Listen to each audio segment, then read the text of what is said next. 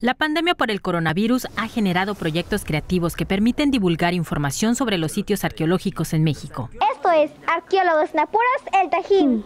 El noticiero donde lo obvio también se investiga. ¡Comenzamos!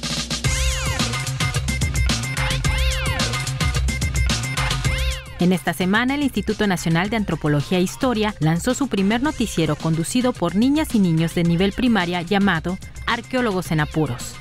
A nuestras espaldas tenemos la gran pirámide de los nichos. La pirámide tiene 365 nichos, como los días del calendario, por lo cual creen que el sol iluminaba cada uno de ellos para indicar el inicio de las cosechas o festividad de algunos dioses.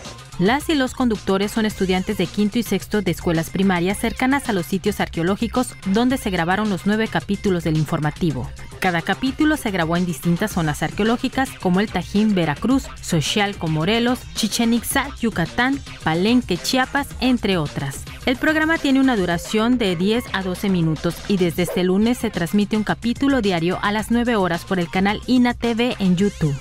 El patrimonio de Atzompa y de Montalbán es una herencia que nos recuerda quiénes somos y qué podemos hacer por nuestra comunidad. Esto fue todo por hoy. Hasta la próxima edición de Arqueólogos en Apuros Atzompa.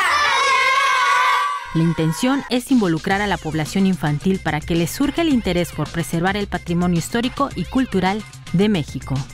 Majalet Guevara La Milla RTV, más noticias.